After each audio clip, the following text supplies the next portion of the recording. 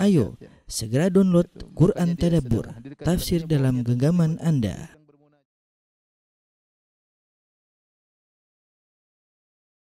Bismillahirrahmanirrahim. Assalamualaikum warahmatullahi wabarakatuh. Alhamdulillahi ala ihsani wa syukru lahu ala taufiqihi wa amtinani. Asyhadu an la ilaha illallah wahdahu la syarika lahu ta'ziman li sya'nihi wa asyhadu anna Muhammadan abduhu wa rasuluhu da'ila ridwani. Allahumma salli alaihi wa ala alihi wa ashabihi wa ikhwani. Para pemirsa Raja di mana pun Anda berada, kita lanjutkan bahasan kita di tafsir surat Sabah dan insya Allah ini pertemuan terakhir dari tafsir surat Sabah. Semoga Allah mudahkan ya. Uh, kita lanjut pada ayat ke-48. Allah berfirman, "Qul inna rabbi yakdhifu bil haqqi 'allamul ghuyub." Katakanlah wahai Muhammad, "Inna rabbi sungguhnya Rabbku yakdhifu bil haqq." Uh, melemparkan kebenaran 'allamul ghuyub. Dialah Allah Subhanahu wa taala yang maha mengetahui segala yang gaib. Yakdzif al-qadhaf dalam bahasa Arab maksudnya adalah ar-ramyu biquwwah, melempar dengan kuat itu dengan cepat. Oleh karenanya di sini ada dua pendapat di kalangan para ahli tafsir. Qul inna rabbi yakdzifu, katakanlah wahai Muhammad sungguhnya Rabbku melemparkan dengan kuat ya. Pendapat pertama mengatakan yang dimaksud adalah uh, wahyu yang Allah berikan kepada Nabi Muhammad SAW atau yang wahyu yang Allah berikan kepada para anbiya secara umum ya yulkir ruha min amrihi ala may yasha'u min ibadi seperti dalam surat Ghafir. Allah uh, memberikan uh, uh, ruh yaitu malaikat Jibril memberi wahyu yulkir ruha min amrihi dengan perintah Allah Subhanahu wa taala ala may yasha'u min ibadi. Liunzira yauma talaq. Uh, apa namanya? kepada hamba-hamba Allah yang Allah kehendaki. Jadi pendapat pertama maksudnya adalah wahyu yang Allah berikan kepada Nabi dengan cepat. Allah mengirim Jibril, kemudian mewahyukan kepada Nabi SAW sebagaimana Allah mengirim Jibril Allah wahyukan kepada nabi-nabi sebelum Nabi Muhammad sallallahu alaihi wasallam. Ini pendapat pendapat yang kedua yang dimaksud dengan yakdzifu bil haq yaitu Allah mengilhamkan kebenaran ya kepada siapa yang Allah kehendaki atau Allah melemparkan kebenaran untuk menghancurkan kebatilan secara umum tidak terbatas pada para anbiya dan ini pendapat yang dipilih oleh uh, Syekh Utsaimin rahimahullahu uh, taala ya. Syekh Utsaimin rahimahullahu taala berpendapat bahwasanya di sini ayatnya umum apalagi Eh, setelah itu Allah Subhanahu wa taala mengatakan kul ja'al haqqu wa ma yubdi'ul batilu wa ma yu'id. Katakanlah telah datang kebenaran uh, wa ma yubdi'ul batilu wa ma yu'id. Kebenaran telah datang dan batil itu tidak akan mulai dan tidak akan pula terulang. Dan ini menunjukkan al-haq di sini umum ya bukan sekedar wahyu tapi uh, kebenaran yang Allah uh, lemparkan kepada sebagian hamba-hambanya untuk menghancurkan kebatilan. Oleh karenanya di akhir ayat Allah mengatakan Alamul ghuyub. Dialah Allah yang mengetahui segala yang gaib. Yaitu kalau Allah yang melemparkan kebenaran kepada sebagian hambanya untuk membantah kebatilan, maka kebatilan tersebut akan sirna. Kenapa? Karena yang mengilhamkan adalah Alamul ghuyub. Zat yang maha mengetahui segala yang gaib. Yang tersembunyi di hati-hati para pembawa kebatilan yang mengetahui syubhat yang ada dalam benak mereka. Makanya ketika Allah memberikan ilham kepada para ulama untuk membantah kebatilan-kebatilan, maka bantahan tersebut kokoh dan kuat dan menghabiskan kebatilan-kebatilan e, tersebut. Ya, atau para ulama ketika membantah orang-orang kafir yang memiliki syubhat-syubhat, maka syubhat-syubhat tersebut, kebatilan tersebut akan sirna karena yang melemparkan al-haq tersebut adalah Allah Subhanahu wa taala. Pendapat yang kedua Allah alam bisawab lebih lebih kuat ya, lebih kuat. Saya ulangi maknanya, kul inna rabbi yakdzifu bil haqqi allamul ghuyub karena uh, apa namanya? Uh, konteksnya kita sebutkan adalah dialog antara diskusi antara Nabi SAW dengan orang-orang kafir Quraisy ya, yang mereka punya syubhat-syubhat.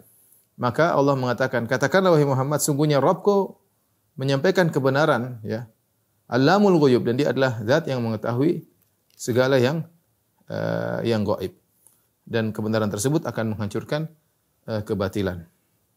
Ya. Uh, ini uh, uh, demikian juga sebenarnya mengatakan ya ketibu bil haq. Terkadang Allah Subhanahu wa taala uh, melemparkan hidayah kepada seorang dengan tiba-tiba ya. Dengan tiba-tiba tiba-tiba seorang berubah berubah dari dari kebatilan menjadi al-haq, kebatilan yang ada di dirinya kemudian menjadi hilang karena ada hidayah yang Allah berikan. Dari kufur menjadi keimanan. Terkadang gara-gara uh, sebab yang sederhana.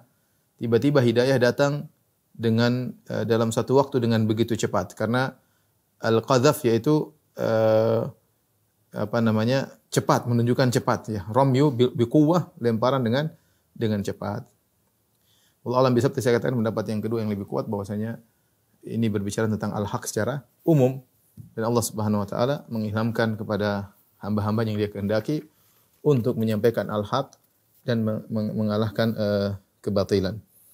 Adapun al-ghuyub jamak dari al-ghaib ya, maka secara umum al-ghuyub ada dua. Ada namanya al-ghaib al-mutlaq dan ada namanya al-ghaib an-nisbi.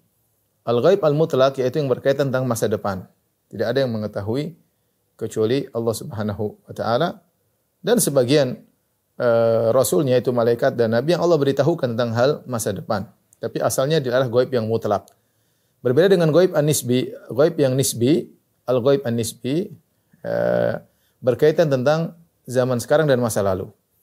Kalau kita bicara tentang masa lalu, maka goib bagi kita karena kita nggak tahu. Tapi bagi orang-orang terdahulu itu bukan hal yang goib, bukan hal yang goib. Demikian juga masa sekarang, masa sekarang bagi orang-orang terdahulu adalah hal yang goib, tapi bagi kita bukan hal yang goib karena kita hidup di masa sekarang. Demikian juga berkaitan dengan tempat. Bagi kita perkara-perkara yang terjadi misalnya di luar negeri kita nggak tahu. Ya karena kita nggak hadir di situ. Tapi orang-orang yang di sana mereka tahu apa yang terjadi. Ini namanya goib nisbi. Artinya makhluk mungkin mengetahui. Tetapi tidak semua makhluk sebagian makhluk mengetahui sebagian makhluk tidak uh, mengetahui. Seperti uh, jin. Jin kita nggak tahu. Di mana mereka sedang ngapain goib tapi nisbi tapi di antara kalangan jin bukanlah hal yang nisbi malaikat kita nggak lihat bagi kita goib tetapi uh, bagi kalangan malaikat adalah uh, suatu yang uh, tidak nisbi karena mereka saling melihat di antara di antara uh, mereka. Tapi berkaitan masa depan, tidak ada yang tahu. Isi lauhil mahfuz ada yang tahu.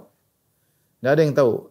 La malakun mukarrab wala nabiun mursal. Malaikat tidak tahu, nabi pun tidak tahu. Allah hanya kasih tahu sebagian saja tentang hal masa depan.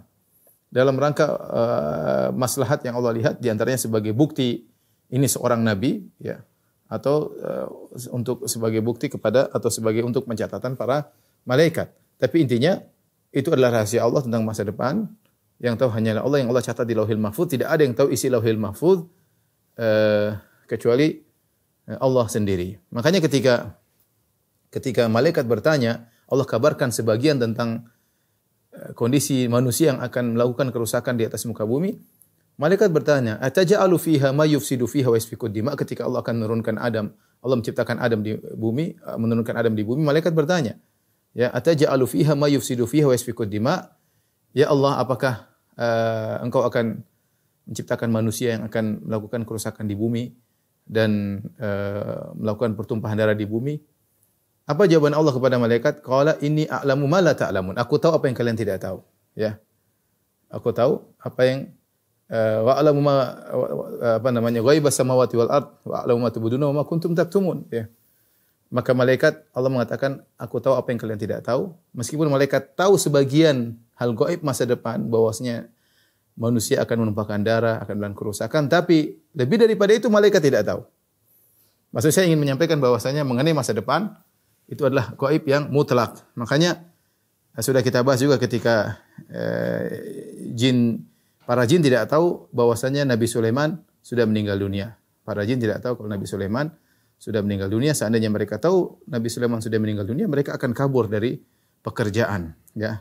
Sehingga kalau malaikat tidak tahu tentang masa depan, kalau nabi tidak tahu tentang masa depan, apalagi jin tidak ada yang tahu tentang masa depan, maka hal yang berkaitan dengan masa depan disebut gaib mutlak. Makanya kalau ada yang ngaku-ngaku tahu tentang gaib masa depan, maka kafir. Qul la ya'lamu man fis samawati wal ardil ghaiba illallah. Katakanlah tidak ada yang tahu al-ghaib ya di langit dan di bumi kecuali Allah maksudnya gaib yang mutlak yaitu tentang masa depan. Tidak ada yang tahu ya. Seperti kapan hari kiamat enggak ada yang tahu. Ketika Jibril itu kan masa depan. Jibril tanya kepada Nabi Muhammad SAW, Mata saat kapan hari kiamat? Kata Nabi SAW, Mal mas'ul ah Nabi alamin sa'il. Yang ditanya tidak lebih tahu daripada yang bertanya. Berarti uh, gaib mengenai masa depan. Kalau ada yang ngaku tahu, maka kafir. Ya, kafir. Makanya kata Nabi SAW, Man atakahinan fasaddaqu bima yaqul faqad kafara bima unzila ala Muhammad. Siapa yang datang kepada dukun benarkan tentang ramalan dukun tersebut tentang masa depan, maka dia telah kafir kepada Al-Qur'an karena Al-Qur'an mengatakan tidak ada yang tahu masa depan kecuali Allah Subhanahu wa taala. Malaikat tidak tahu, nabi tidak tahu, jin tidak tahu apalagi mbah dukun. Jelas lebih tidak tahu lagi. Baik, eh, kita lanjutkan. Allah Subhanahu wa taala berfirman, "Qul ja'al haqqu wa ma yubdi'ul batilu wa ma yu'id." Uh, katakanlah katakanlah kebenaran telah datang ja'al haqqu wa ma yubdi'ul batil dan uh, kebatilan tidak bermula wa ma yu'id dan kebatilan tidak uh, berulang ya.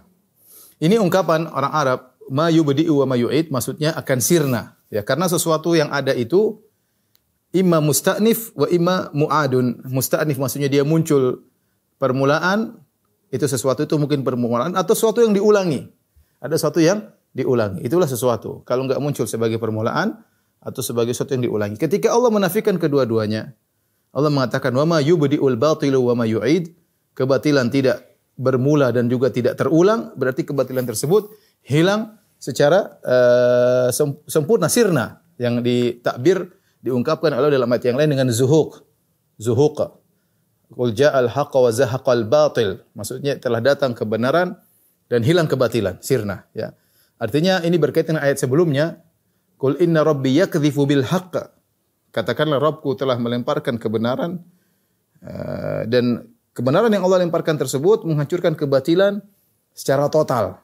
Seakan-akan tidak pernah ada. Ma yubdi'u wa ma yu'id. Tidak tidak bermula dan juga tidak uh, uh, terulang.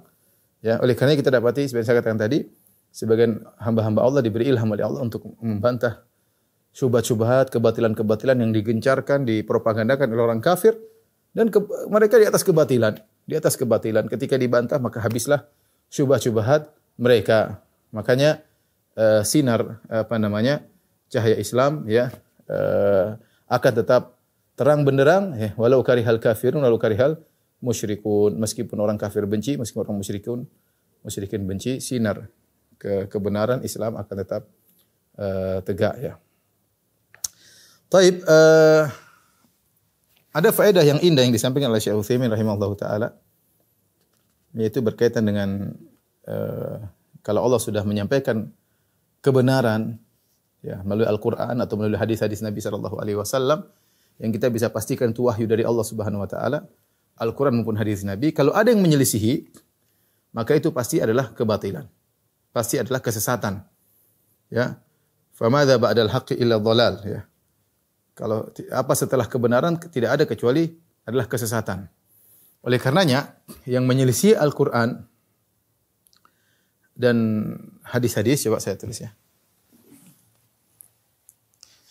Uh, wahyu dari Allah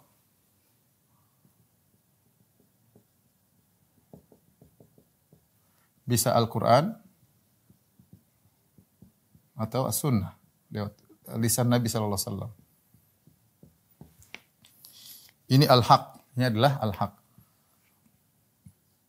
Uh, tidak ada yang menyelisih kecuali batil.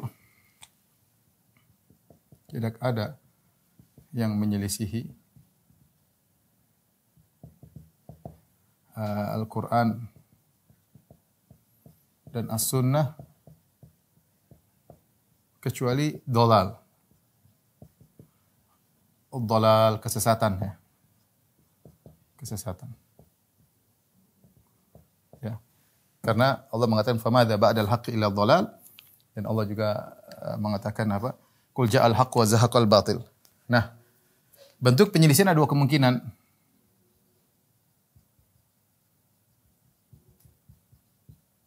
Ada dua kemungkinan.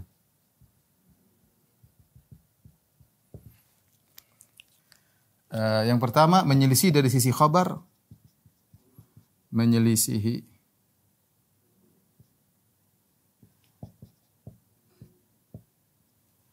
khabar yang datang dalam Al-Qur'an dalam wahyu Al-Qur'an ataupun sunnah. Yang kedua menyelisihi menyelisihi hukum-hukum Al-Quran dan Sunnah.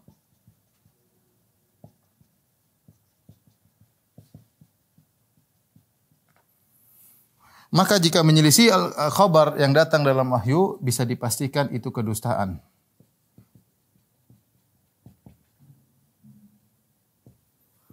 Itu merupakan kedustaan. Adapun jika menyelisih hukum-hukum bisa dipastikan kezaliman. Adalah kezaliman. Kalau ada hukum yang menyelisih Al-Quran Sunnah, pasti zalim. Pasti zalim. Kenapa? Karena hukum Allah semuanya adalah adilan. Kalau ada yang menyelisih kabar tentang berita dalam Al-Quran Sunnah, pasti kedustaan.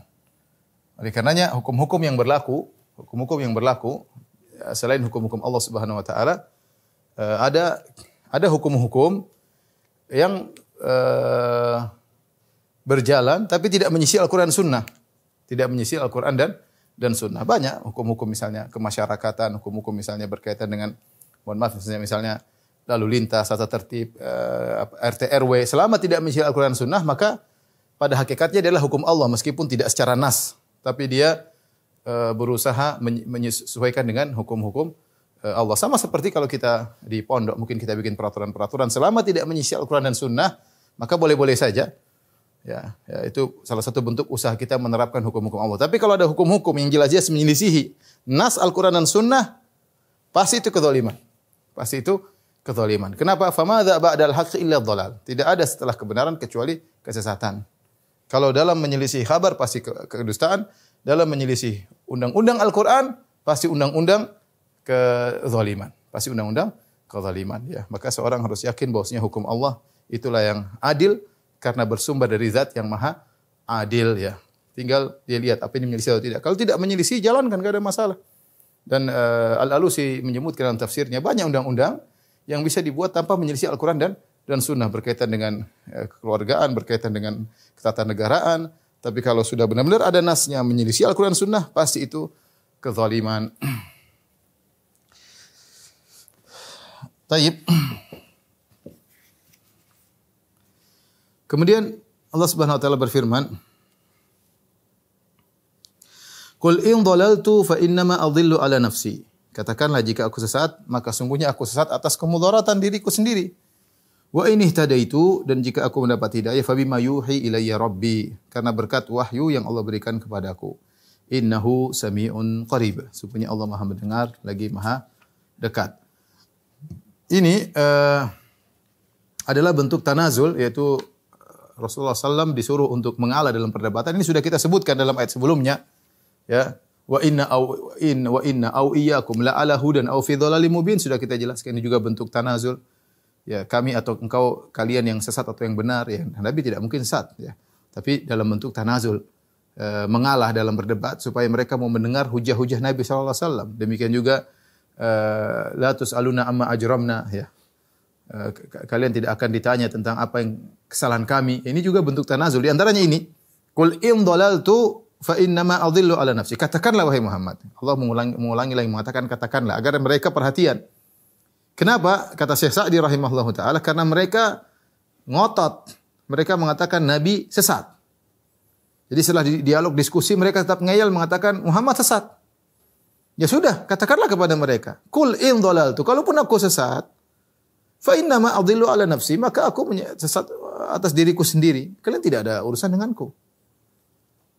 Tapi ingat, wa ini itu kalau aku dapat hidayah, fa bima yuhi ilayya rabbi karena wahyu yang Allah berikan kepadaku. Di sini adab dari Nabi sallallahu alaihi wasallam ketika menyandarkan kesesatan tidak disandarkan kepada Allah Subhanahu wa taala, tetapi ketika hidayah Nabi tidak sandarkan kepada dirinya. Ketika uh, Rasulullah berkata, "Qul in dhalaltu kalau aku sesat, fa inna ma aku sesat sendiri atas diriku." Ketika berbicara tentang hidayah, wa ini itu jika aku dapat hidayah, fa bima yuhi ilayya rabbi. Maka karena wahyu yang Rabbku berikan kepadaku. Jadi ini untuk menghilangkan rasa ujub bahwasanya kita kalau dapat hidayah semata-mata dari Allah Subhanahu wa taala. Kita bisa ngaji, bisa salat, bisa bayar zakat, bisa terbuka untuk sedekah, bisa berbakti kepada orang tua, bisa sayang kepada anak istri, bisa mudah memaafkan ya. Banyak hal semangat baca Quran, banyak hal yang Allah berikan kepada kita semua hidayah dari Allah Subhanahu wa taala.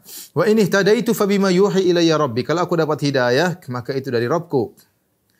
Innahu sami'un qarib. Sungguhnya Allah Subhanahu wa taala sami' qarib. Allah Subhanahu wa taala Maha mendengar lagi Maha uh, dekat ya. Sami' kata Ibnu Katsir rahimahullah yaitu Sami' berkata, Sami'un li aqwali al-ibad, qaribun mujibu da'watid da'in.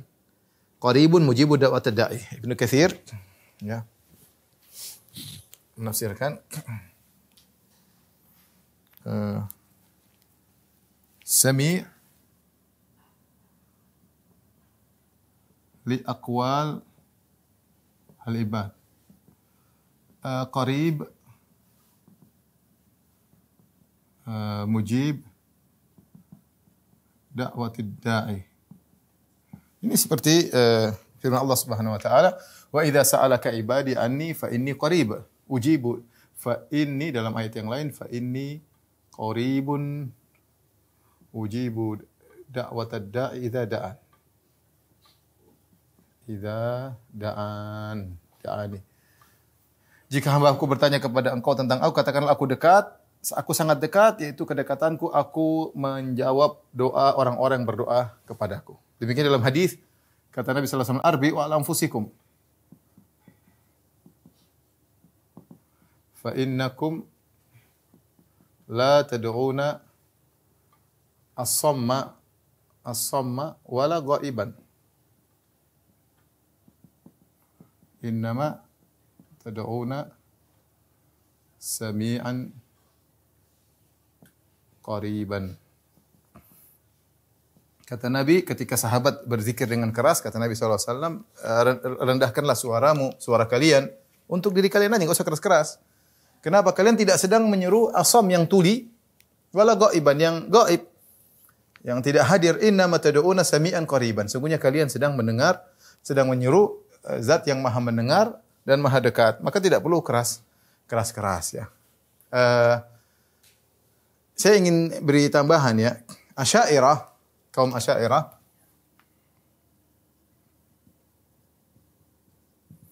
eh, dalam sifat ilmu ya. Mereka pada hakikatnya tidak eh, pada hakikatnya tidak menetapkan sifat mendengar. Mereka tidak menetapkan sifat mendengar. Sifat mendengar mereka takwil. Mereka takwil menjadi uh, apa namanya? Al-ilm bil masmu'at. Tentang menjadi ilmu, itu ilmu tentang hal-hal yang terdengar. Hal-hal yang terdengar. Jadi mereka tafsirkan dengan sifat ilmu. Sama juga ya. Uh, mereka juga mereka mentakwil sifat melihat. Mereka mentakwil sifat melihat dengan al-ilm bil mubsarat. Itu ilmu tentang hal-hal yang terlihat.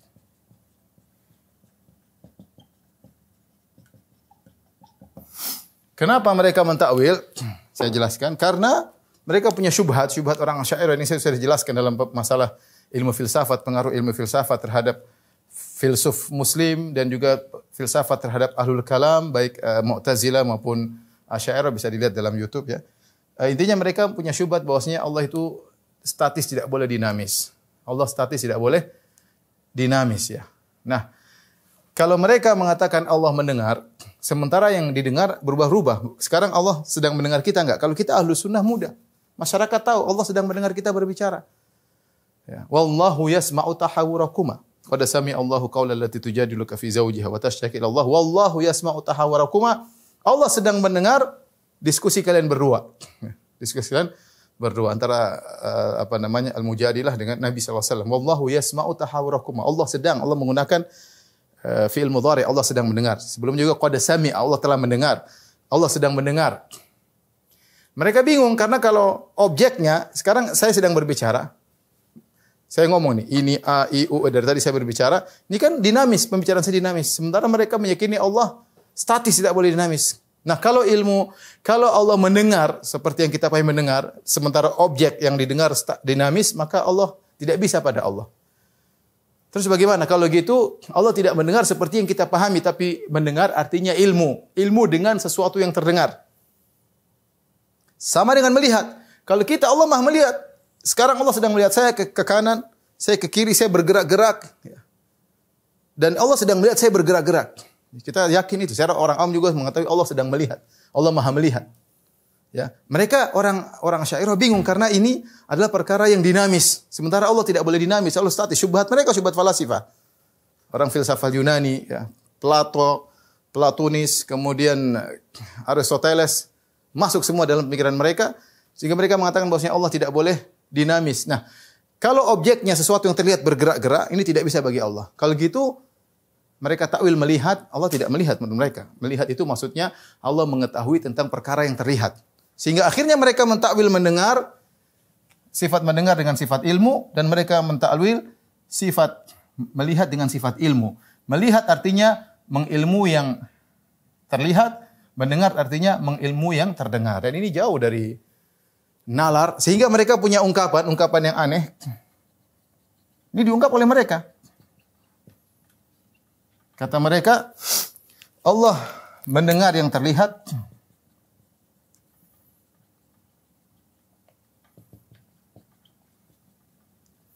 dan Allah melihat yang terdengar.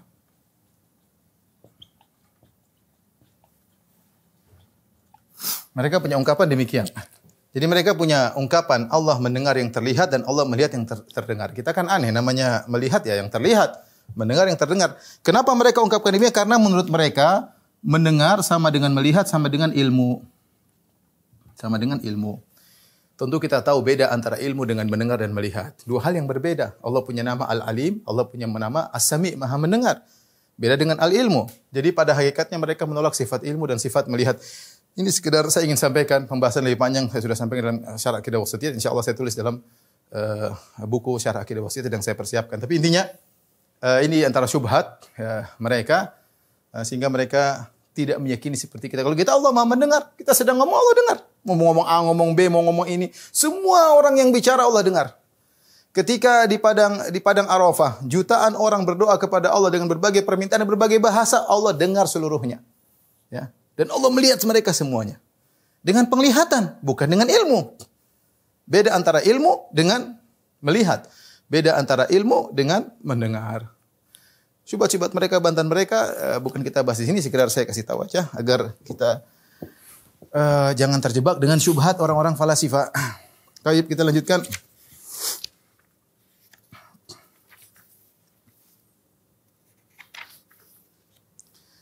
Kemudian Allah Subhanahu wa taala berfirman,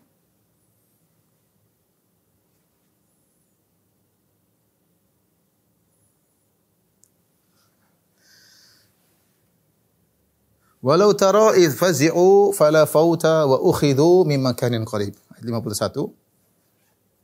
Dan alangkah hebatnya jika jikalau kamu melihat ketika mereka orang-orang kafir terperanjat ketakutan pada hari kiamat maka mereka tidak dapat melepaskan diri dan mereka ditangkap dari tempat yang dekat untuk dibawa ke neraka. Baik, walau taro ketika engkau melihat wahai Muhammad atau orang yang baca Al-Qur'an ya, ada yang mengatakan maksudnya walau tarau kalau engkau melihat. Engkau di sini maksudnya Rasulullah sallallahu alaihi wasallam. Ada yang mengartikan umum siapa sih yang baca Al-Qur'an terkena khitab ini, pembicaraan ini kepada yang baca Al-Qur'an. Walau tarau seandainya engkau melihat. Apa yang engkau lihat tidak disebutkan. Ditafsirkan yaitu segala hal yang menakutkan. Sebagian disebutkan oleh Syekh Sa'di rahimahullahu taala yaitu amron hailan kau akan melihat ketika itu perkara yang dahsyat, manzaran mufzi'an, perkara yang menakutkan, mengerikan ya uh, halah uh, munkarah, perkara yang mungkar, syiddah syadidah, perkara yang sangat dahsyat ya. Semua yang sangat mungkin bisa kita lihat pada hari tersebut. Kapan? Idh fazi'u ketika orang-orang musyrikin fazi'u ketakutan. Al-faza' yaitu adalah al-khauf al-mufaji, yaitu rasa takut yang tiba-tiba. Uh, rasa takut yang datang tiba-tiba ya karena kedahsyatan tersebut tiba-tiba ketakutan tersebut tiba-tiba muncul kaget kalau bahasa kita kaget terperanjat mereka bangun dibangunkan oleh Allah melihat kondisi yang sangat mengerikan idfazi'u dan itu pada hari uh, kiamat kelak seperti firman Allah Subhanahu wa taala wa yauma yunfakhu fis suri fafazi'a man fis samawati man fil ardi illa man Allah. Ketika ditiupkan sangkakala fafazi'a maka semua orang ketakutan. Ya, ketakutan ya, kaget yang di langit maupun yang yang di bumi semuanya ketakutan. Di langit maksudnya para malaikat juga ketakutan, di bumi maksudnya manusia. Hari yang sangat dahsyat. Di hari tersebut ya yang lebih mengeri, sangat mengerikan adalah orang-orang musyrikin. Walau taro, kalau kau melihat di hari ketika mereka terperanjat kaget ketakutan karena tadi saya katakan al-faza artinya al-khauf al-mufaji ketakutan yang tiba-tiba kau akan melihat segala hal banyak hal yang kau lihat dan Allah tidak menyebutkan maf'ul bih sini kaidah tafsir kalau maf'ul bih tidak disebutkan memberikan keumuman ya. Engkau bisa melihat perkara yang mengerikan, engkau bisa melihat kondisi mereka yang mengenaskan, engkau bisa melihat perkara yang dahsyat apa saja yang bisa dilihat pada hari tersebut. Fala fauta ya. tidak ada mereka bisa lolos ketika itu, tidak bisa lolos. Ya. Yaitu mereka tidak akan lolos dari uh, siksaan Allah Subhanahu wa taala ya. Sebenarnya maksudnya fala fauta lahum. Tidak ada kelolosan bagi mereka, tapi lahumnya Allah uh, hapus, fala fauta itu lebih mengena. Ketika lahumnya dihilangkan, fala fauta artinya seakan-akan tidak ada sama sekali uh, keselamatan bagi mereka. Mereka tidak akan lolos. Kalau di dunia mereka sering lolos. Ya. Orang pelaku maksiat, orang kafir sering lolos. Mereka ini zalim ini, bunuh orang sana, menzalimi ini, uh, menyiksa, lolos, lalu lolos. Tidak ada. Ya. Uh, makanya Allah mengatakan, "Wala tahsabanna Allah ghafilan amma ya'malu dzalimun." Innama yuakhiruhum liyaumin tashkhasu fihi al-absar. Jangan kau menyangka bahwasanya Allah lalai dari orang-orang zalim. Allah tidak lalai, Allah tahu, tapi Allah biarin aja. Innama yuakhiruhum Allah tunda mereka ya nanti pada hari kiamat kelak tatkala mata-mata terbelalak ya tatkala mereka ketakutan fala fauta maka tidak ada keselamatan uh, bagi mereka mereka tidak bisa lolos ya mereka tidak bisa lolos kemudian kata Allah Subhanahu wa taala uh, Wa ukhidhu min makanin qarib dan mereka diambil diambil dari tempat yang dekat. Apa yang dimaksud dengan tempat yang dekat di sini? Maka ada e, beberapa pendapat sebagian ulama berpendapat maksudnya kuburan karena mereka diambil dari kuburan untuk lemparkan dalam neraka jahanam, tempatnya dekat nggak jauh-jauh. E, atau ada yang mengatakan al-mahsyar di padang mahsyar, tempat yang dekat untuk masuk neraka. Artinya, artinya apa ini maksudnya? Kata Allah nanti pada hari kiamat kalau kalian kalau kalian melihat kondisi yang sangat mengenaskan bagaimana mereka ketakutan, mereka tidak bisa lolos. Wa ukhidhu min makanin qarib dan mereka ditarik diambil untuk lemparkan neraka dari tempat yang dekat. Kenapa disebut tempat yang dekat? Menunjukkan tidak ada penundaan bagi mereka. Kapan mereka siap masuk neraka tidak ada penundaan dan mereka tidak bisa kabur. Ainal mafar, tidak ada tempat lari. Ainal mahrab, tidak ada tempat lari. Mereka tidak bisa lari, mereka tidak bisa kabur. Sehingga kalau seandainya seorang mau ditangkap dia kabur, berarti min makanin bait. Wa ukhidhu min makanin bait. Diambil dari tempat yang jauh karena kabur. Tapi di padang mahsyar enggak ada. Enggak ada mau kabur enggak bisa. Enggak bisa kabur mau ke mana. Sehingga dikatakan wa ukhidhu min makanin qarib. Mereka diambil dari tempat yang dekat, enggak bisa lolos. Cepat tinggal masukkan ke neraka, cemplungkan dalam neraka uh, jahanam ya. Mereka tidak bisa untuk kabur sama sekali dan tidak ada penundaan sama sama sekali. Ya, ini menunjukkan kondisi yang mengenaskan uh, uh, bagi uh, mereka. Kemudian kata Allah Subhanahu wa taala, "Wa qalu amanna bih." Mereka langsung berkata, "Kami beriman, kami beriman." Mereka tidak mau tunda-tunda. Mereka berharap ketika mereka mengaku mereka beriman, mereka akan selamat. Karena mereka nggak bisa kabur, mau kabur ke mana? Ya. Wa ukhidhu min makanin qarib, diambil dari tempat yang dekat masukkan neraka gampang. Wa qalu amanna bih, kata mereka yang beriman. Beriman dengan apa? Dengan beriman yang dengan seluruh yang mereka ingkari. Bisa jadi beriman kepada Allah dulu mereka tidak beriman, bisa beriman kepada kenabian Nabi Muhammad SAW dulu mereka tidak beriman. Mereka dulu bisa jadi maksudnya beriman kepada hari kebangkitan karena mereka dahulu mengingkari hari kebangkitan. Bisa jadi mereka beriman dengan neraka karena mereka dulu mendustakan neraka jahanam, ngejek-ngejek, ya. Mereka beriman. Segera mereka mengucapkan wa qalu amanna bih dan mereka berkata kami beriman tetapi tidak ada faedahnya. Kata Allah Subhanahu wa taala, "Wa anna lahumut tanawushu min makanin ba'id."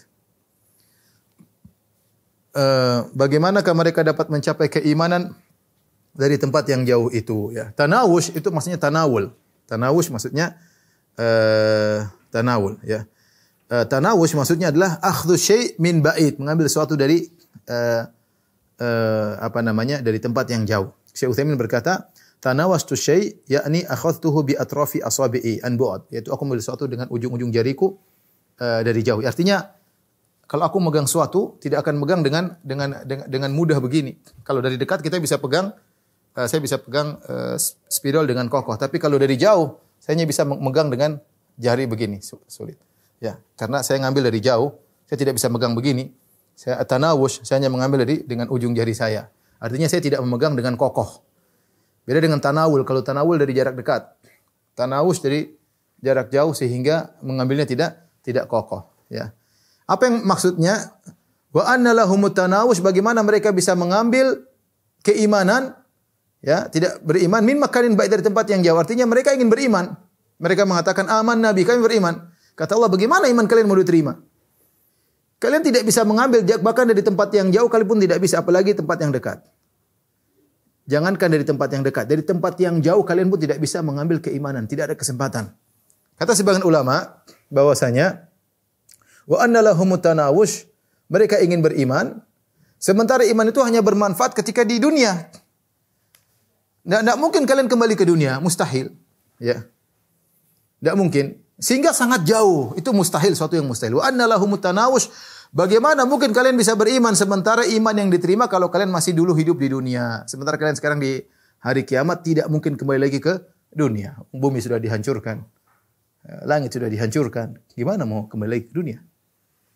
Jadi adalah ini maksudnya uslub Allah metode Allah untuk menjelaskan sesuatu yang mustahil. Wa anna lahumut tanawus. Bagaimana mereka bisa meraih keimanan dari tempat yang jauh. Mereka di mereka di akhirat sementara bumi kehidupan masa lalu. Seandainya mereka ngambil di masa depan mungkin mereka masih mengejar. Sementara mereka berjalan ke depan tempat beriman sudah masa lalu sudah lewat. Jadi mustahil. Jadi mengambil dari akhirat untuk beriman di masa lalu di masa di dunia mustahil. Makanya dikatakan wa anna lahumut tanawushu min makanin ba'id. Bagaimana mereka bisa meraih keimanan dari tempat yang jauh? Maksudnya dari akhirat ingin balik beriman di tempat yang jauh di dunia dan itu sudah tidak mungkin lagi mustahil. Ini metode Allah dalam menyampaikan sesuatu yang uh, mustahil dan bentuk penghinaan kepada kepada mereka. Kata Allah Subhanahu wa taala wa qad kafaru bihi min qabl. Mereka telah kafir kepada Nabi SAW sebelumnya, kafir terhadap hari kiamat sebelumnya, kafir kepada hal yang mereka ingkari. Ya, mereka sudah uh, kafir ketika itu, maka tidak mungkin lagi bermanfaat uh, iman mereka. Ya, ya, karena percuma. Ya, namanya iman. Iman itu suatu yang gaib. Sekarang sudah di hadapan mereka neraka semua. Ya, iman mereka tidak ada uh, manfaatnya. Karena ketika mereka melihat uh, neraka mereka langsung uh, beriman dan iman tersebut tidak ada manfaatnya sama sama sekali. Kata Allah la yanfa'u nafsan imanuha lam takun amanat min qablu aw kasabat fi imaniha khaira. Tidak ada bermanfaat iman ya bagi seseorang ya sebelumnya mereka tidak beriman ya dan tidak berbuat kebaikan. Iman di hari kiamat tidak ada faedahnya sama sama sekali. Wa qad kafaru bih min qabl. Percuma kalian beriman, kalian telah kufur sebelumnya. Wa yakdhifuna bil wa yakdhifuna bil ghaibi min makanin ba'id. Dan mereka yakdhifuna bil ghaib yaitu mereka uh, menduga-duga tentang nabi dari tempat yang jauh. Mereka menduga-duga artinya yarjumuna bil ghaib. Ya mereka menduga-duga tentang Nabi sallallahu alaihi wasallam mereka mengatakan Muhammad itu enggak ah, ada namanya hari kebang, kebangkitan, enggak ada namanya neraka, enggak ada. Itu mereka duga-duga saja ya, ya, ya, rajman bil ghaib. Yaktifuna bil ghaib maksudnya rajman bil ghaib. Mereka menduga-duga. Mereka tidak punya dalil untuk menolak adanya hari kebangkitan. Secara akal uh, mereka tidak bisa bantah apalagi secara dalil. Makanya Allah mengatakan wa yaktifuna bil ghaibi mereka menduga-duga ketika di dunia untuk untuk kufur mereka menduga-duga mereka mengatakan apa itu hari kiamat hanya persangkaan mereka, ya, bidzon hanya persangkaan mereka. Uh, kemudian tanpa ada dalil, kemudian mereka mengatakan Muhammad adalah orang gila, Muhammad adalah uh, penyihir, Muhammad adalah uh, dukun. Ini juga mereka menduga-duga dari tempat yang jauh. Min makanin bait seharusnya Kalau mereka ingin mencari kebenaran, mereka mendekat kepada Nabi. Berusaha untuk mengetahui sehingga mereka bisa mengetahui dari tempat yang dekat. Itu maksudnya. Tapi yang mereka lakukan tidak. Mereka menduga-duga dari tempat yang jauh. Seharusnya kalau mereka ingin tahu, mereka datang kepada Nabi, dekatin, minta penjelasan Rasulullah SAW. Itu namanya dari tempat yang dekat. Tapi sudah dari tempat yang jauh, dibangun di atas duga-dugaan, maka ini membuat mereka akhirnya kufur kepada Allah Subhanahu wa taala. Akhirnya menuduh yang tidak-tidak kepada Nabi sallallahu alaihi wasallam dan ayat terakhir kata Allah wahila bainahum wa baina ma yashtahuna kama fu'ila bi asyaihim min qablu innahum kanu fi syakkim murib. Kata Allah Subhanahu wa taala wahila bainahum dan dihalangilah di antara mereka wa baina ma yashtahun dari apa yang mereka kehendaki kama fu'ila bi asyaihim min qabl sebagaimana uh, dilakukan terhadap orang-orang serupa dengan mereka sebelumnya ya innahum kanu fi syakkim murib sungguhnya mereka dahulu dalam keraguan uh, yang mendalam ya. Baik. Di sini ada dua pendapat di kalangan para ahli tafsir.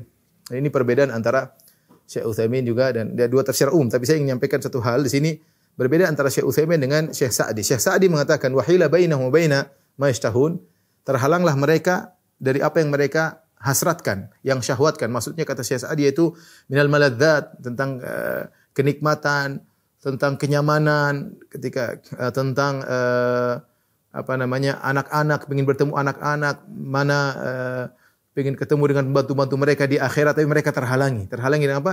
Dengan uh, kekufuran yang mereka lakukan. Sehingga mereka di akhirat tidak bisa merasakan kelezatan. Padahal mereka ingin berlezat-lezat di akhirat juga, tapi terhalangi.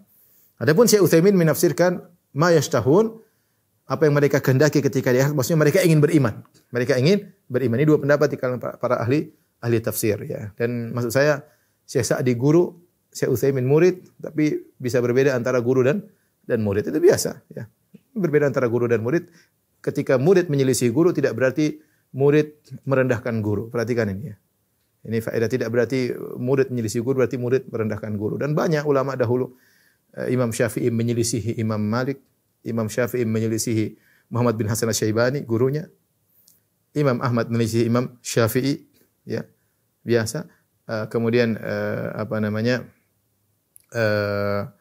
murid-murid Imam Syafi'i ya juga menyelisih Imam uh, Syafi'i seperti Al-Muzani. Al-Muzani menyelisih Imam Syafi'i dalam banyak hal. Al-Muzani dan tidak ada mengkonsekuensikan bahwasanya sang murid tidak menghormati sang guru enggak ya. Jika dibangun di atas ilmu, saling menghormati di antara mereka, bukan merendahkan uh, yang lainnya maka tidak ada masalah ya. Ini contoh maksud saya, saya ingin menyampaikan bahwasanya uh, Syekh Utsaimin menyelisih gurunya. Ma tahun di sini diartikan oleh Syekh Sa'di dalam tafsirnya maksudnya perkara-perkara kelezatan seperti uh, syahwat mereka atau ketemu dengan istri mereka, anak mereka, bantu-bantu mereka ya ketika di akhirat mereka tidak bisa menemukan hal tersebut karena hila bainahu bainahum wa baina ma dihalangi. Apa yang menghalangi? Kekufuran ya, buat mereka terhalang. Kalau Syekh Utsaimin mengatakan iman. Mereka ingin beriman tapi mereka terhalangi. Apa yang buat mereka terhalangi dari keimanan? Kesombongan, hasad, dengki, banyak hal.